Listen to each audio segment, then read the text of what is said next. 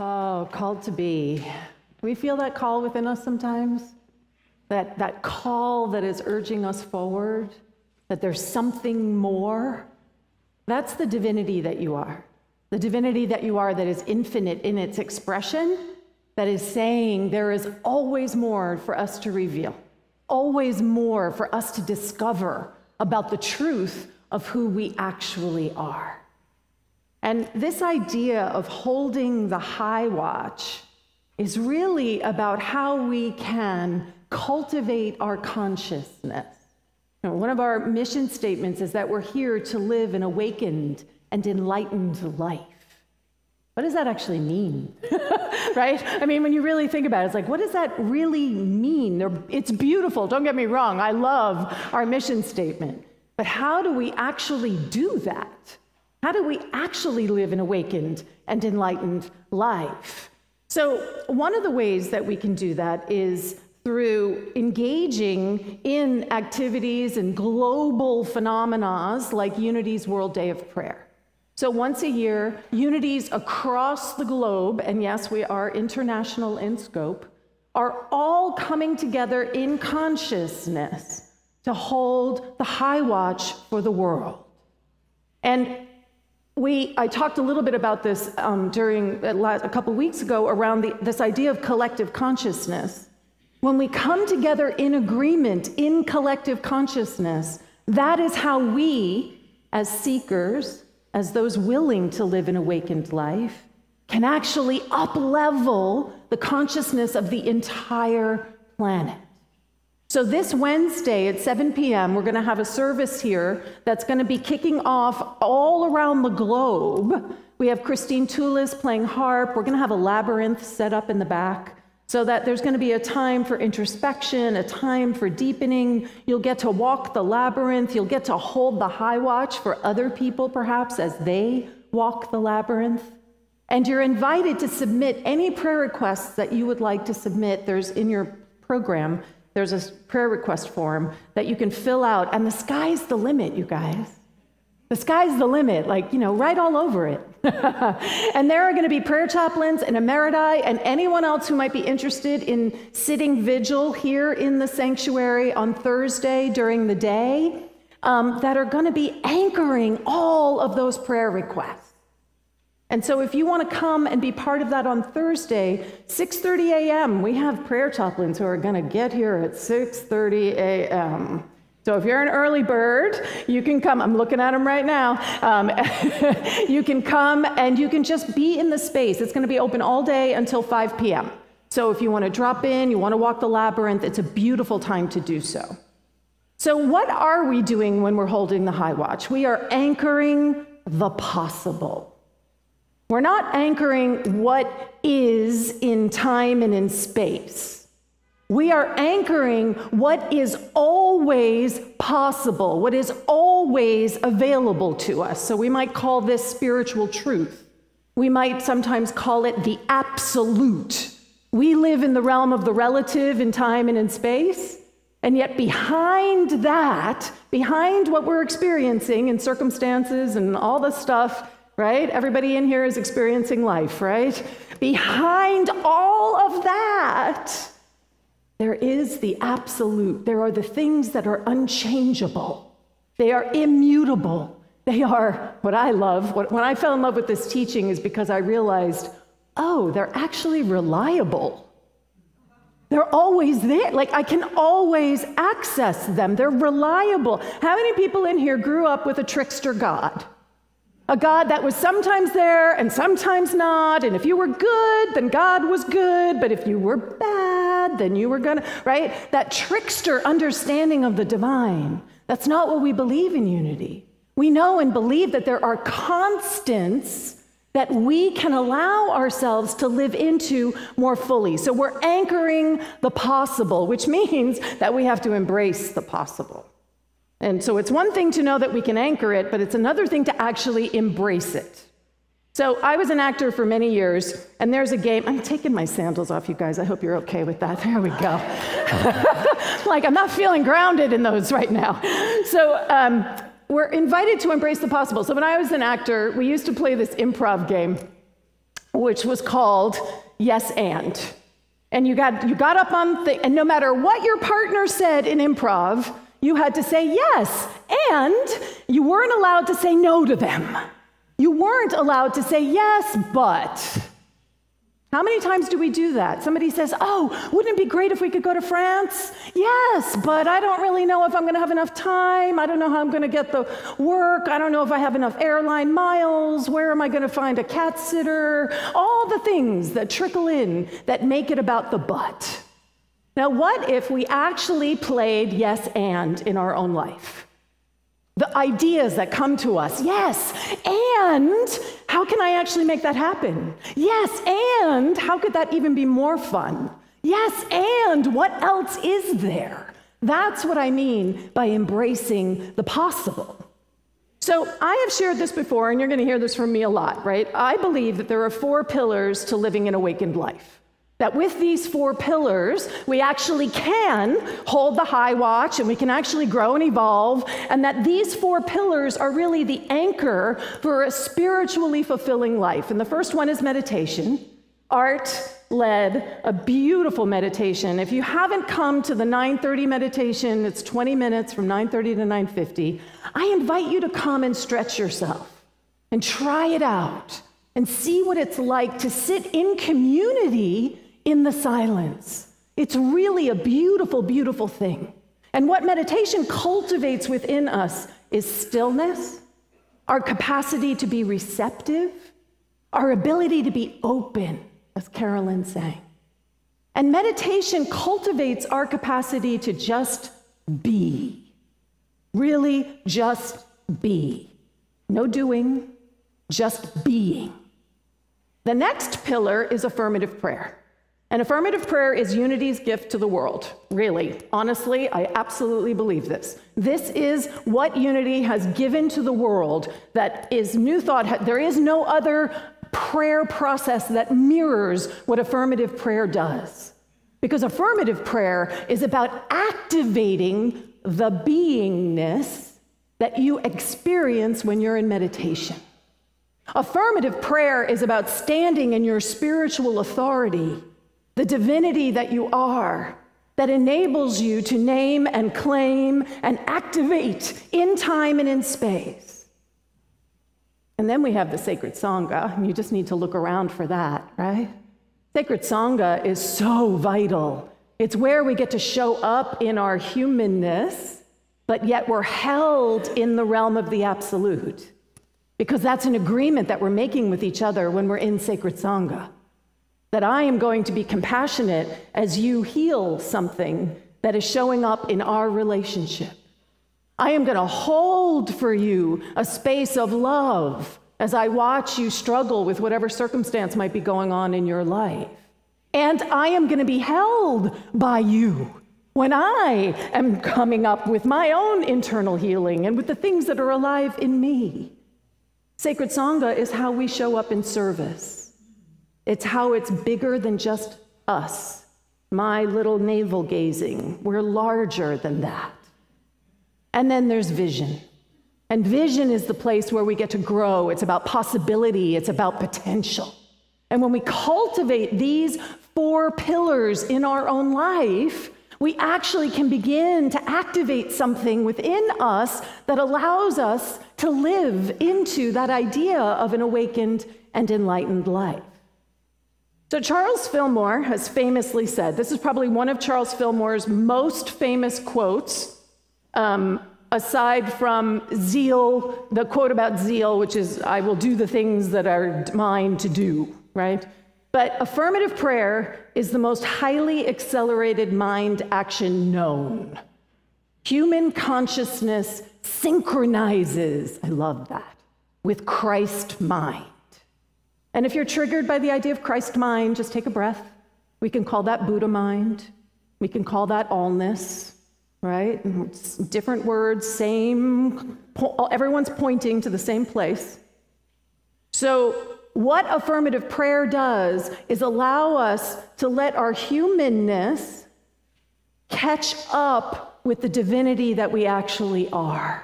It allows us to step into something so that we can align with the truth of who we are. Anybody in here struggling with aligning with the truth of who you are? Like you remember it when all is good, right? And then something happens and all of a sudden you are so out of alignment with your Christ best loving self. Mm-hmm. So affirmative prayer is one of the most powerful practices that you can step into because it is a process of transformation. It's a transformation of consciousness.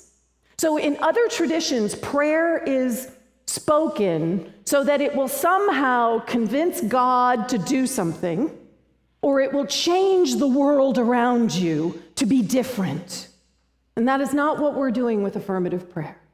With affirmative prayer, we are changing our own consciousness. That is where the prayer is happening, in your own consciousness. And as your own consciousness shifts, guess what? Your experience shifts with it. So, when we are engaged in the process of affirmative prayer, we are anchoring spiritual truth. We are aligning ourselves with that truth and reminding ourselves. I had a teacher once say that affirmative prayer is remembering to remember. Remembering to remember that I am whole, I am love. And then that begins to shift our understanding. And the shift in our own understanding transforms our experience. All of this is framed, as everything that we do in unity is framed, around what will enable you to live a more fulfilled, joyful, loving, and compassionate life. That is the point of this teaching, so that you can live a more fulfilled life. So, when we're stepping into an affirmative prayer, we are literally asking ourselves, what would be useful right now? What is it that will support me or support the person that you're praying with to live a more fulfilled, joyful, centered, anchored life? The divine is huge, right? I mean, it's all that there is. We believe that there's only one power and one presence, and that's everything. It's the planets and the stars and the cosmos, and it's the laws, and it's each of us individually, and it's huge, and it's like, wow. I don't know about you, but that's not very useful to me. I mean, it feels good, but how is that actually useful to me? What's useful to me is if I identify something about the allness that is and say, I am that. And that is what our 12 powers are.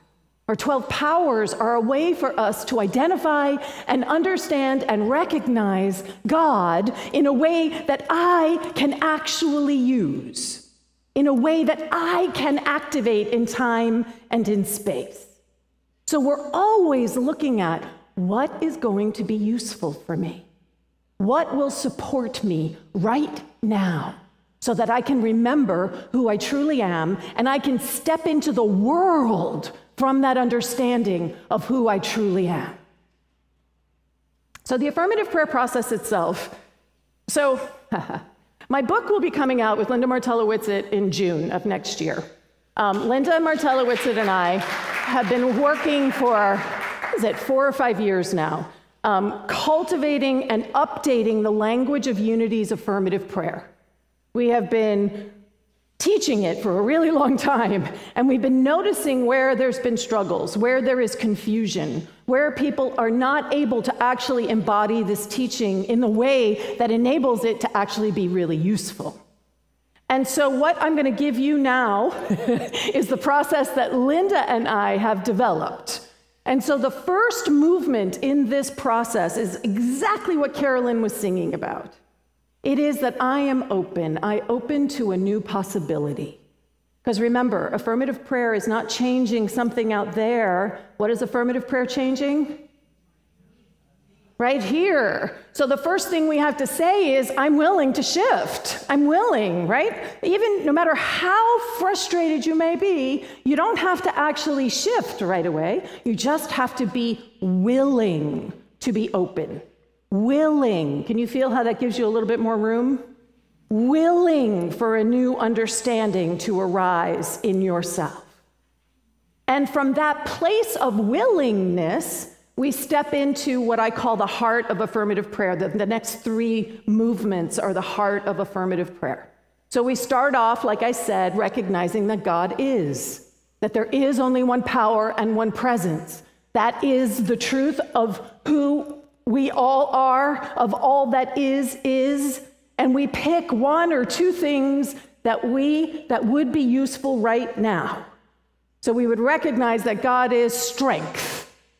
Recognize that God is power.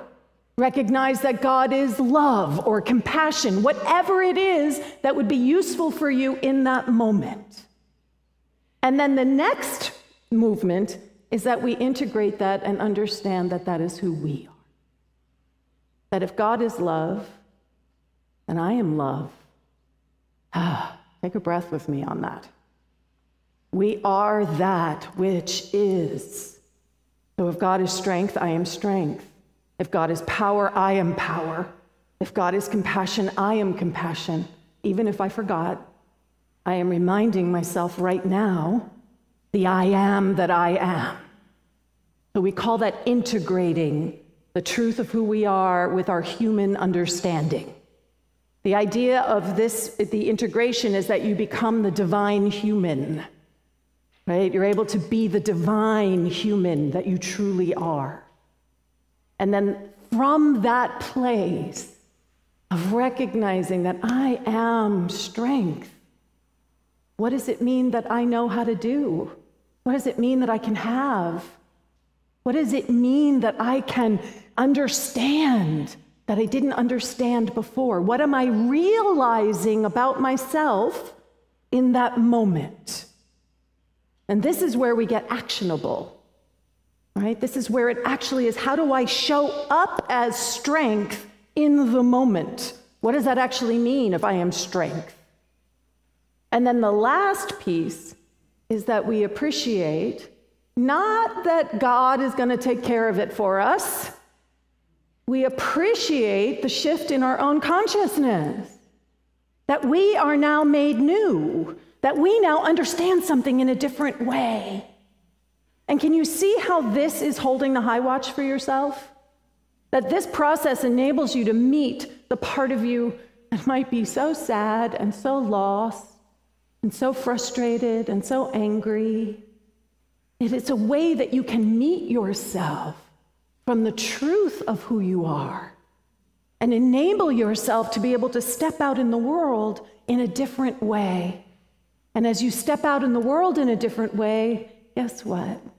Your experience of the world will change. So, the picture that, um, think of it as the, the movements spiral outward.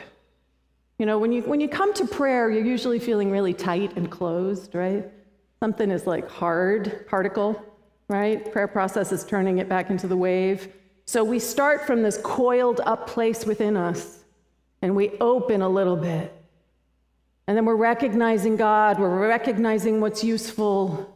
We open a little bit more. We recognize into, oh, it's me. I am all that that is. And because I am all that that is, that means I have all of this available to me. Can you feel how much more open it becomes? And then we're appreciating the expansive shift in consciousness that we have just initiated within ourselves.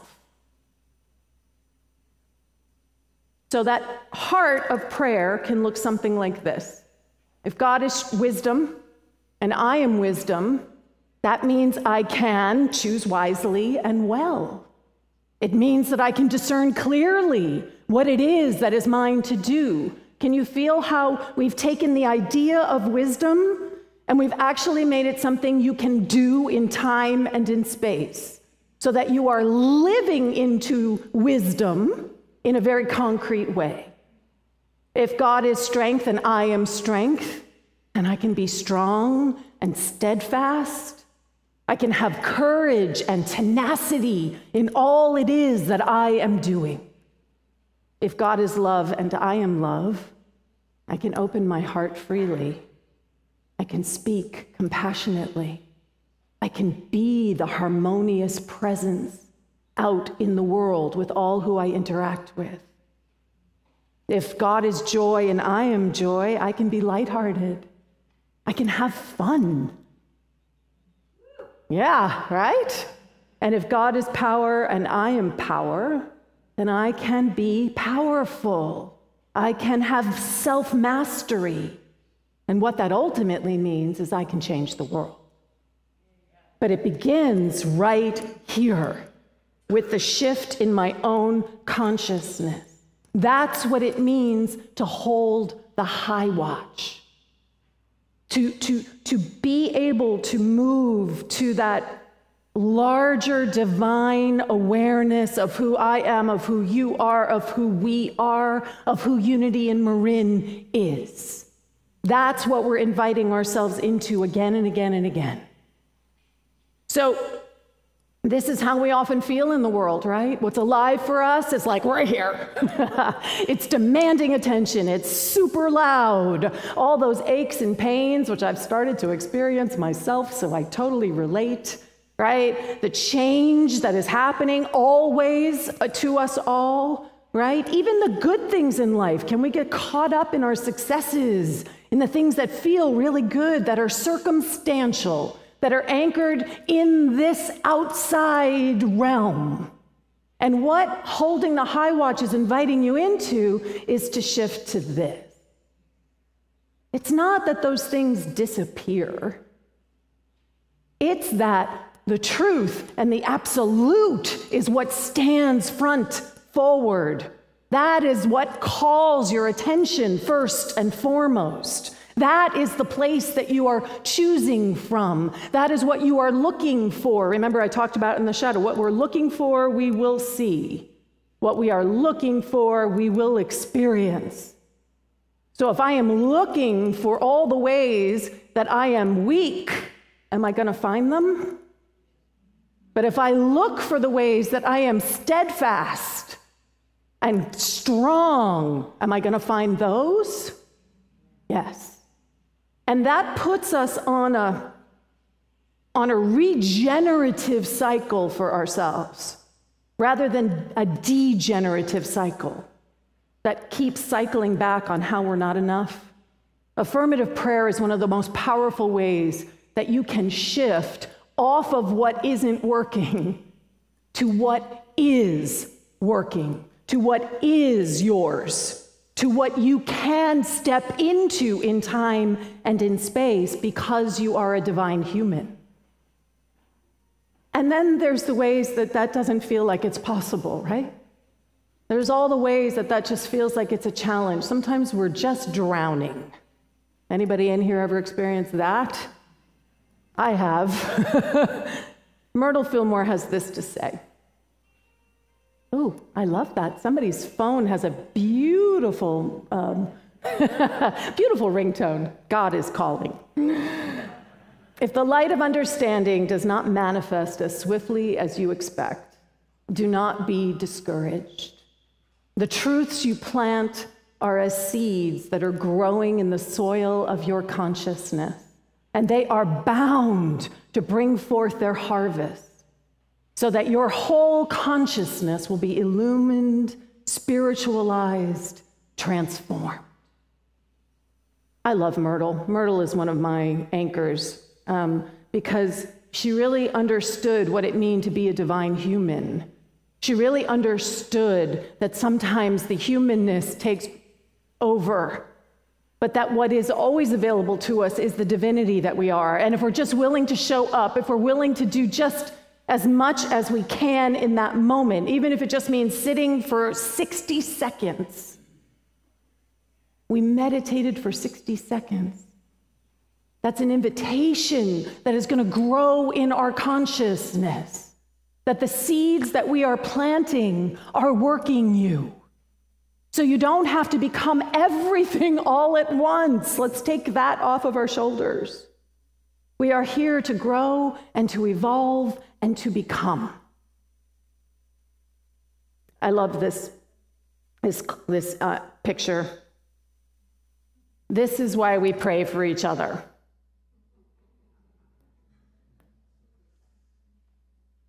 Because we can't always be there for ourselves, right? Sometimes it's just too much. Sometimes it literally feels like the world has fallen underneath our feet. And that's why we come together in Sacred Sangha. That's why we come together like this online, in person, so that in those moments when our spiritual understanding feels dry and arid and nothing is growing, that there are those around us who happily carry, carry us through those challenging spaces. Most of you have experienced that it's a lot easier to see the good in someone else than it is to actually see it and know it in yourself. And so, what you're invited into for World Day of Prayer is to really live into that. Can you hold the world in prayer? Can you hold this community in prayer? Can you see and know the possibility, the divinity that is actually concretely present and palpable in every single creature being that is on this planet and beyond? Can you, can you plant the seeds in your own consciousness and allow that to take root and to be transformed? So, we have several people who are taking trips, and so I thought that this would be a perfect opportunity for us as a community to practice some affirmative prayer. Everybody feel good with that?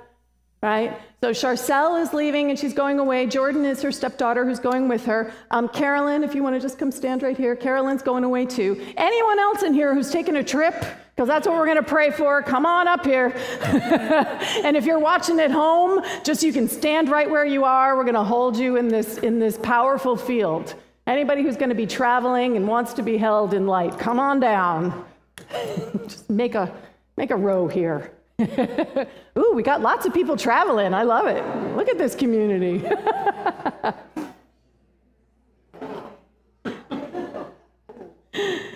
So, we're going to hold the high watch.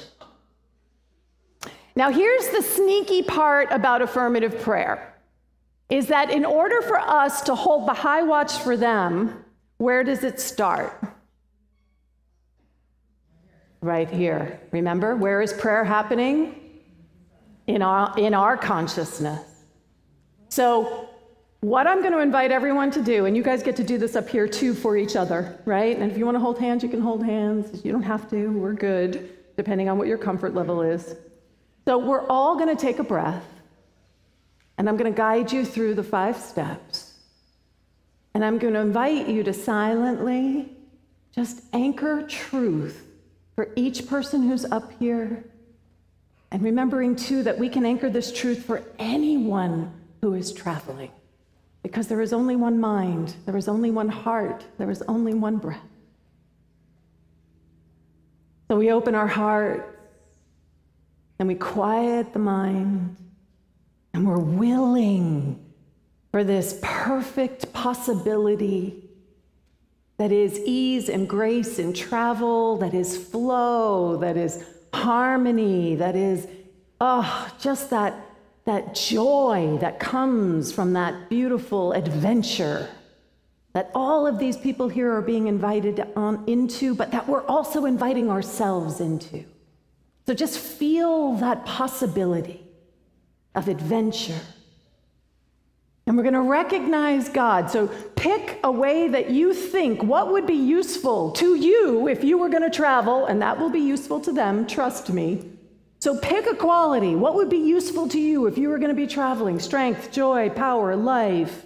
What would be useful to you right now? And know that it is you. Just feel that that's the truth of who you are right now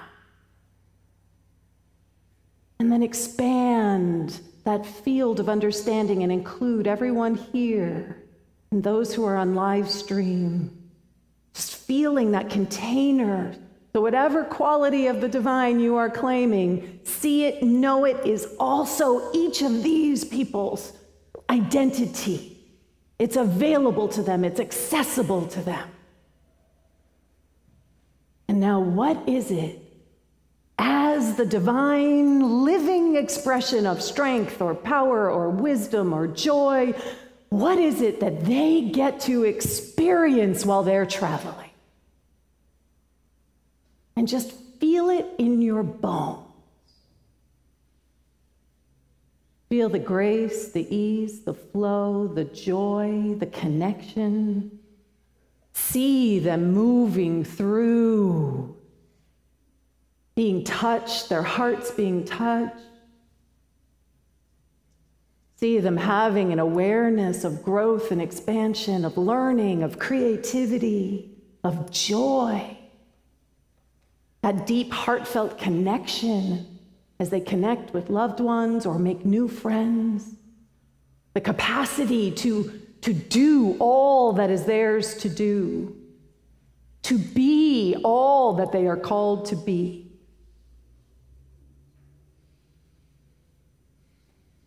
And now we just appreciate the fact that we know this. Feel how appreciative you are that we know this for them, that we know this for each other. Oh, how good that is to know right now everything they need, we need, we already have. All travel blessed and a blessing. And in agreement, we all say, and so it is. Amen. Ashe. Woohoo! That was fun. you guys can go sit down. That was fun, right? so that's what it means to hold the high watch, right? And did anybody notice that when we hold the high watch for others, do you feel better too? Yeah, that's the secret. Shh. Right? That's the secret that we think that these prayer chaplains are just so altruistic and that's just, they get nothing from this as they just show up for all of us. Ah, they get so much. So think about that too when you want to ask for prayer, but you think, oh, I don't know, I don't want to bother them. Just remember that they are getting as much out of the prayer request as you are. There's no separation in that. All right. So, World Day of Prayer. So, wouldn't it be fun to do more of that on Wednesday night? so, come join, 7 p.m. The labyrinth will be set up, as I said. The um, fill out uh, your prayer requests, and then there's a very pretty filigreed box that's in the in the lobby. Um, you can also put them in these boxes up here too, and they'll get sorted out. But just make sure that you give that to somebody so that they can be held in prayer during World Day of Prayer. So I am going to invite Carolyn to come back up. And how appropriate is this song all around the world? Well, you'll notice.